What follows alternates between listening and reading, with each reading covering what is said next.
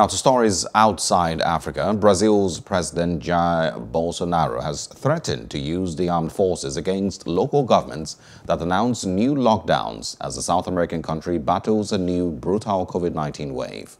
Speaking to military personnel serving in the northern Amazonas state, Bolsonaro did not directly talk about the measures and actions of state governments. Still, he demanded a return to normality uh, ignoring the COVID-19 pandemic and the more than 450,000 deaths in the country. Bolsonaro also repeated that freedom in the country is in the hands of the military. Hello, hope you enjoyed the news. Please do subscribe to our YouTube channel and don't forget to hit the notification button so you get notified about fresh news updates.